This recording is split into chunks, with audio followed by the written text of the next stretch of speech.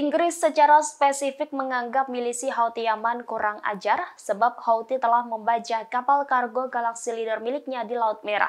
Baru-baru ini Inggris mengirim kapal perang Angkatan Laut Kerajaan HMS Diamond ke perairan Teluk dan Samudra Hindia. Pengumuman ini disampaikan oleh Menteri Pertahanan Inggris Grensa pada Kamis 30 November 2023. Inggris menyebut pengerahan kapal perang HMS Diamond itu bertujuan untuk menjalankan operasi keamanan guna meningkatkan stabilitas dan keamanan regional di kawasan tersebut.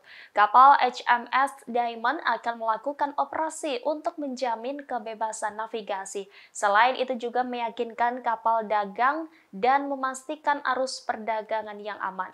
Diketahui di wilayah tersebut Inggris sudah menempatkan sejumlah kapal dari berbagai jenis seperti frigat Landscatter, tiga pemburu ranjau, dan sebuah kapal pendukung Royal Fleet Auxiliary.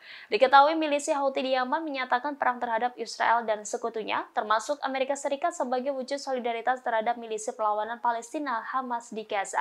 Belakangan Tentara Nasional Yaman juga berikrar untuk melawan Israel dengan berbagai cara, termasuk memblokade jalur pelayaran termasuk di Selat Bab al-Mandab.